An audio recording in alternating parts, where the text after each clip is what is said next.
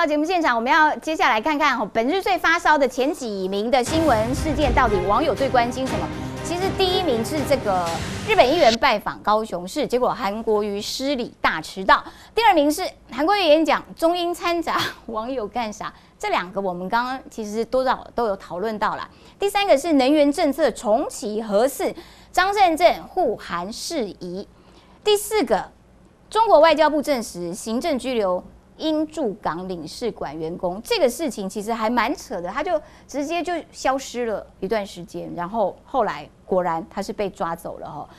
刚刚我们谈到说，哎，日本议员拜访高雄市，结果韩国瑜失礼大迟到，有一个点有人提到，我觉得其实也蛮重要，就是说事实上日本人呐，他们因为很讲理，然后所以他们很重时间，他们对于服装的要求其实都有一定的规格，那所以。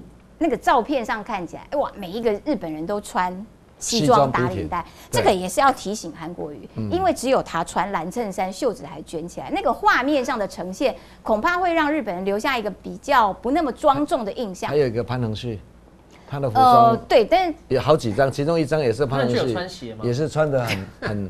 很 easy 啦，很 easy。对，很 easy，应该有穿鞋啦。他只是对在日本那个场合，应该是有穿鞋子。这个是要提醒韩国瑜的，这个也要请孟凯，请国民党赶快把他拉住啦，要不然这个影响外交总是不太好啦。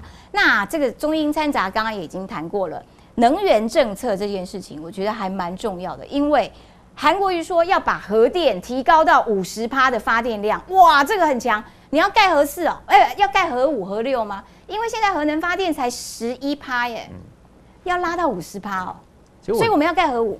其实我觉得是这样子啊，你看得出来说前三个都是跟韩国瑜相关嘛，所以说这也是刚刚对照说我们刚刚上一上一个节目里面讨论是说韩国瑜的声量都还是第一名五十九万，好，那对比第二名蔡英文三十万等等多出一倍嘛，哈。不过，因为现在他是总统候选人，所以说当然很多事情都放大检视了。我并不是刚刚主持人特别提到是说这个日本的这个议员的一个拜会，但不要忘记哦，有些时候客随主便。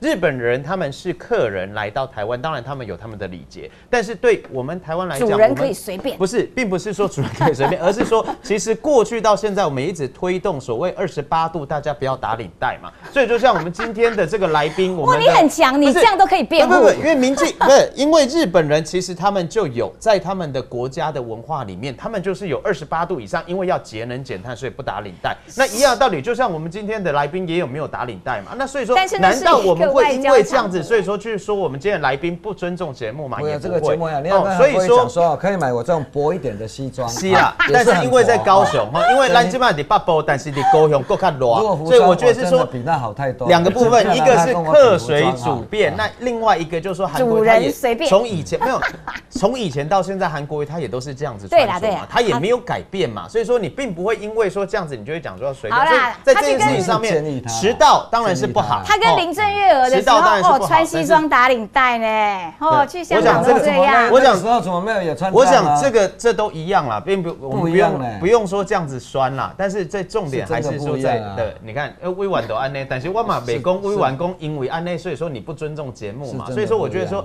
真的标准，委员很尊重节目啦，标准一致。那我想这样子就会比较轻松了。好啦，随便他爱穿什么穿什么啦，反正破坏关系的也是他了哈。来第四名，中国外交部证实这件事情，就是说反送中这个事件在香港每个礼拜的动能都让台湾人非常的震惊，哇，这个一直累积下去，所以他们这个礼拜、下个礼拜其实都已经有一些预定的行程，在反送中这个议题上面，很可能会成为台湾总统大选的一个很重要的影响因素，所以很多人都判断说，哎呀，民进党为什么现在看起来蔡英文很稳啊，都是都是因为反送中啊，捡到捡到枪啊。那所以反送中这个议题对民进党来说会持续的减枪下去吗？我想前几天有个国民党的讲说，香港人在流血，民进党在补血。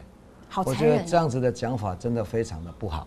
嗯。啊，我们坦白讲，香港跟台湾啊，跟中国未来我们希望就是走向民主制度。嗯。